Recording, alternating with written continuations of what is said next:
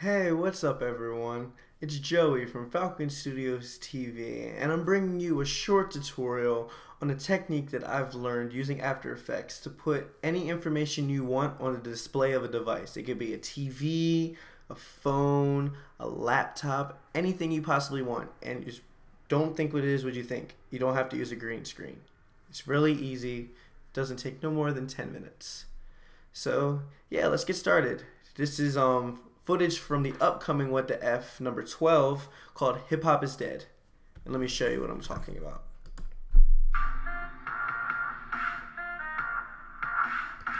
See, so as you can see, Justin Bieber here is stuck on the screen. Now, no, I did not put him on the screen at the time of the shooting. He was not there. I put him in post, and that's exactly what I'm going to be teaching you now. It's really simple and really easy to do. So first things first, you have to go ahead and import your footage into After Effects, which of course I've already done. It's right here. Alright, so the very first step out of all of this, of course, is to take him, take the original footage of the device and make a composition. And see, as you can see, he's not there. So now if you want to go really, really, really in depth, you can go ahead and track it to make sure he sticks there. But I'm not going to show you how to track in this tutorial. I'm only going to show you how to put him on the screen. Really simple, really easy. Now, in this tutorial, I'm going to assume that whoever's watching already knows pretty much the basics of how to use After Effects. I'm not going to go in and tell you how each and every individual tool works because I'm going to figure that you already have a basic knowledge. I will, however, show you the key and very important stuff and what you need to know.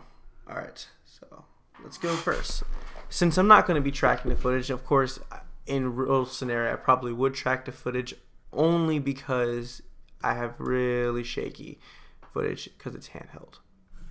But anyway, let's go ahead and show you how to put them on the screen. So you already have your footage. Normally I would go into the tracker and track it like I said, but instead I'm not going to do that. So next, you're going to import, well, put on top the Justin Bieber image. Now, like I said, this could be anything. It could be a picture of a dog, cat, anything you could possibly want it to be. You're going to hit the rotation tool, and you're going to rotate him. No, stop it. Rotation tool. And you're going to rotate him until he reaches the overall angle you think he needs to be. Let's go ahead and size him up.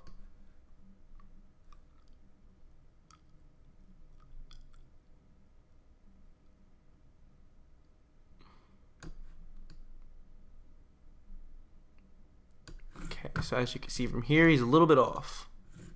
So let's go ahead and change his perspective just a little bit until he's right there. That looks about right to me, at least to my eye at first. So next things first, go into your effects and presets. I already have the window open. Now if you don't have this window set up exactly the way I have my After Effects set up, all the information is available right here from the windows in the window menu. You have like your tracker, you have effects and presets, everything like that that you could possibly need right in from the window thing. So I'm going to go ahead and type in corner pin tool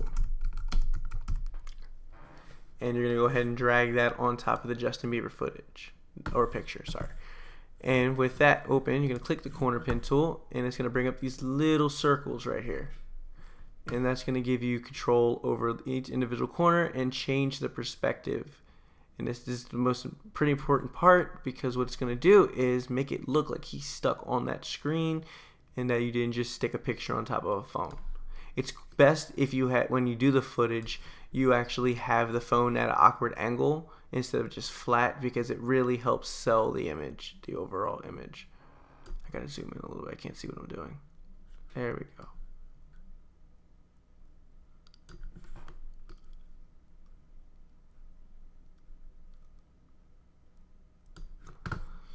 All right. Get that corner pin in there, get that corner pin in there.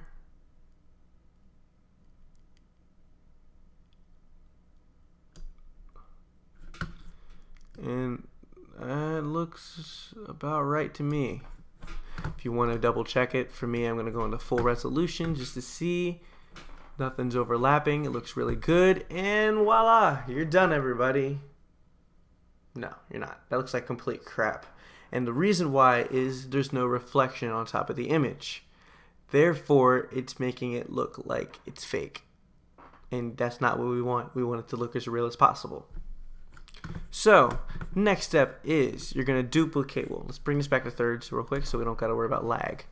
Okay, so the original footage, you're going to hit Command D to duplicate it. And now you have two existing versions of the same footage. You're going to drag one on top of the Justin Bieber and keep the original below it. And uh oh, he disappeared. Don't worry, we're going to fix that right now. We're going to, first, I'm going to go ahead and make a mask actually. Make this easy on myself. I'm going to mask around each point of the screen. So I'm going to mask here, going to mask here, here, here, and here. And just like that, we have a mask. And now you may be asking yourself, wait, he's still not there. What's going on? That's because we have to lower the opacity. And this is where the magic happens. Just like that, he shows back up. But not only is he showing back up on the screen, but the reflections show back up with him. Now you can finesse this to your own liking, whatever you want it to happen, what you want to look like. Personally, I like to have a lot of reflection, a little bit of image. And it's a little too much actually. Let's bring it down to about 70. Let's go 70. And yeah, it looks about perfect. There's just enough reflection, and just enough screen where it really sells the effect. Like watch, if you go back out to 100%, look at that. It looks like he's on the screen. And now that's not even where the power of this technique even ends. See, if you had just put the picture on the screen and you wanted to say make him look all fizzy like there's something wrong with the screen, you wouldn't have been able to do that without warping the footage or doing a whole lot of masks and stuff. With this power, this has so this technique has so much power behind it that you can do literally anything to the image itself. Let's add uh distort warp distort or something. Wave warp. Let's add that to it. Add that, sorry. Not not to the movie one. You're gonna add that to the actual Justin Bieber layer. Just like that. And now look, it's only affecting him and not the entire image. Like we can let's make this let's make this noise.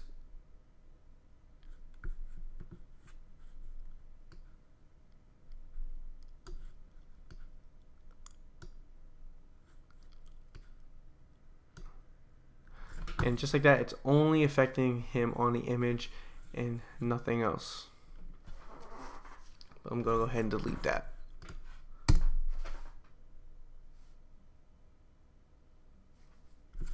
Hey everyone, I just wanted to say thank you again for watching.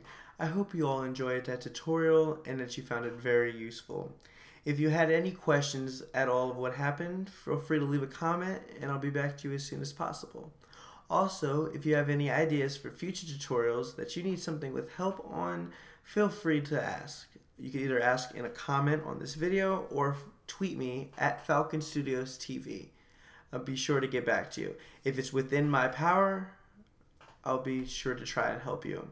Um, the programs that I know how to use are Adobe After Effects CS6, Adobe Premiere CS6, a little bit of DaVinci Resolve, and I have a friend who's able to do a lot of Photoshop stuff. So if you have any questions with any of those programs, feel free to ask. And thanks for watching. You guys have a great day.